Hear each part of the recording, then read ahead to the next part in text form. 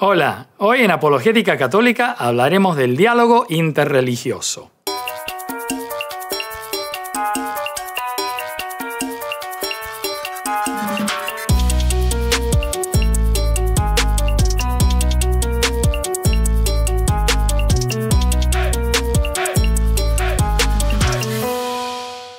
En este mundo en que vivimos hoy hay muchas religiones, es una sociedad muy pluralista donde las creencias eh, son muy diversas.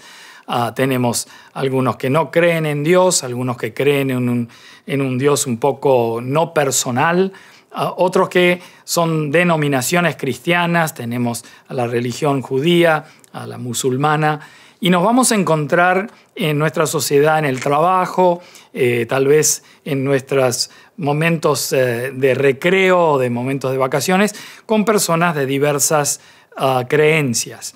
Y cómo entramos en diálogo y podemos realmente de alguna manera compartir con ellos cosas de nuestra fe y al mismo tiempo escuchar lo que ellos tienen que decir.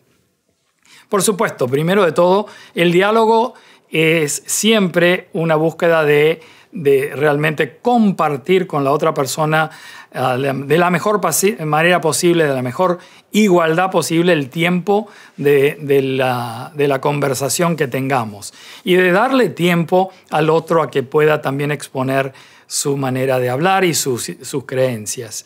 Y, este, y, tenemos que estar abiertos a la posibilidad de que algunas cosas que puedan decirnos, o tal vez varias o todas las que nos dicen, puedan ser congruentes con nuestra fe y que podamos también al mismo tiempo aprender algo que ah, nos tengan que decir. Por supuesto, también ellos tienen que estar abiertos a escucharnos a nosotros.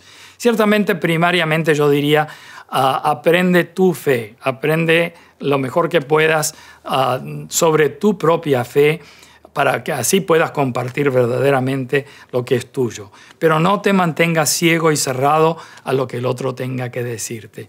El verdadero diálogo permite ese, ese compartir y no ah, domina la conversación tratando de imponerlo de uno. Siempre intentando encontrar ah, puntos en común, cosas que nos ayudan a ser mejores humanos, a entendernos mejor y a caminar juntos en este mundo.